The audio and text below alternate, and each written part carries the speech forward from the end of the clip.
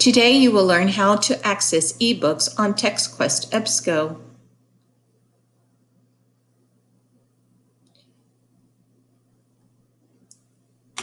I would suggest that you click on the sign in link, scroll to the bottom, and if you don't have an account, create one. This will allow you to use the folder feature. The folder is where you can place any information that you would like to access at a different time. Preferences allows you to choose how you want the information to be displayed. You can even choose a language to work in. There is a dictionary available. As you can see, there are other databases you can choose from.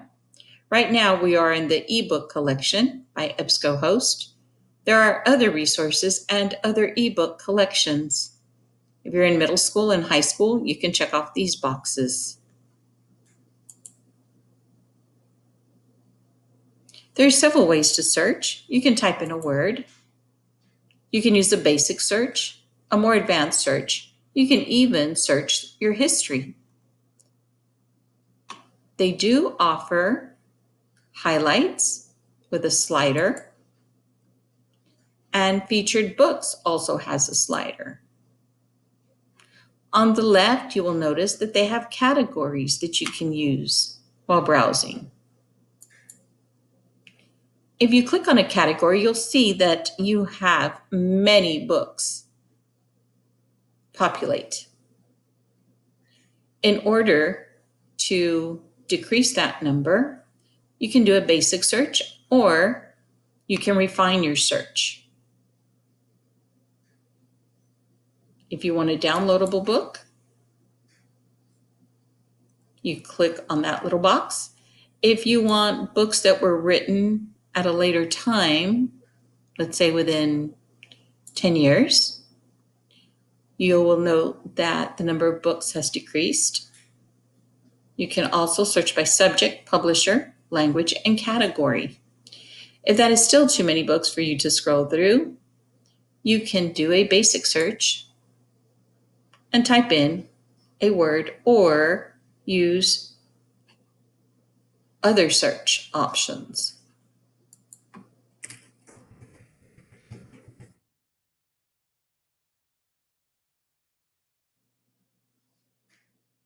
As you can see, just by typing in hurricanes, the list of books has gone down to 433. Again, I can choose downloadable books. I can choose books that were written within the past 10 years. And if I want ebooks, you can see that number has significantly decreased. Again, you have other options to choose as well. Once you get to the number of books that you think is within reason to search through, you can look at the title as well as a picture of the cover and it'll have other information about the author and publisher and publication date, as well as subjects. It'll have a PDF full text link you can click on, and a drop down menu on the table of contents and the most relevant, relevant pages from this book. to open the book, you click on the PDF. Again, you see more informa- the information about the book you can jump to the different parts of the book just by clicking on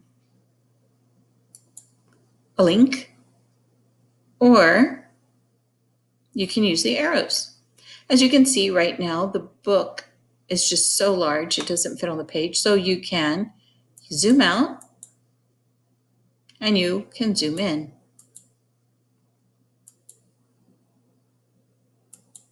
You can expand it you can go back to the size it was before. This will put that page all by itself on a separate screen. Again, you can turn the pages as you read.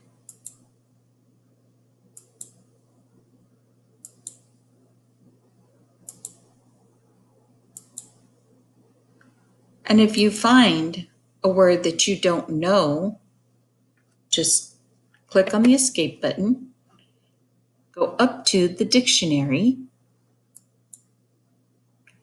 type in the word surge, search it. There's the main entry, and it'll give you the pronunciation and the definition as well as more information.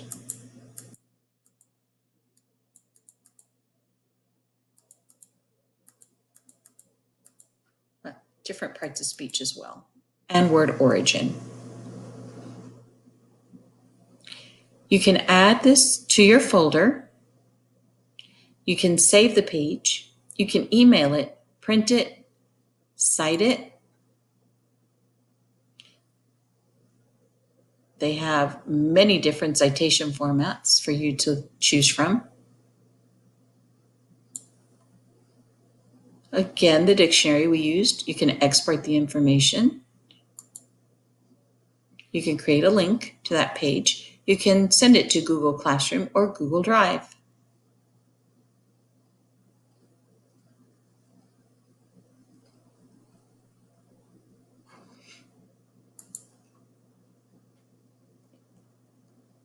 You can check your folder if you have added something to it, and you can access this information at a later time. If you have any questions, you can contact your school librarian for help. I hope you enjoy searching for ebooks on EBSCOhost.